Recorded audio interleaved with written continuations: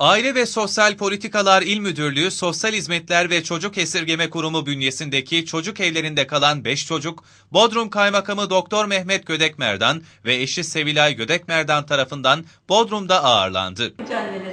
Hemşire, hemşire hanım. Evet, hoş geldiniz. Arabayla.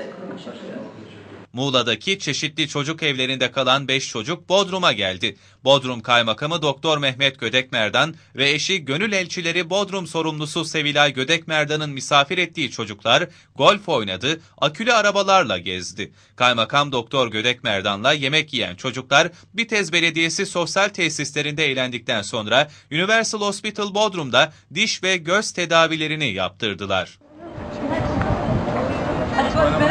Yanlarında çocuk evleri koordinasyon merkezinde görevli bir hemşire ve iki bakıcı anne ile birlikte sabah saatlerinde Muğla'dan Bodrum'a gelen 5 çocuk ilk olarak Halk Eğitim Merkezi Müdür Yardımcısı Sevilay Gödekmerdan'la bir araya geldiler. Gödekmerdan'ın kendileri için hazırladığı hediyelerle mutlu olan çocuklar daha sonra Bodrum Kaymakamı Doktor Mehmet Gödekmerdan tarafından kabul edildiler.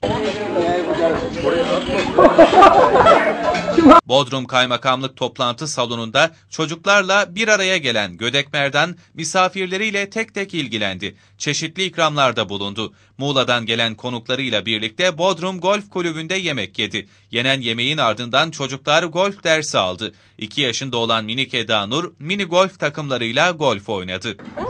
Eda maşallah. Çok.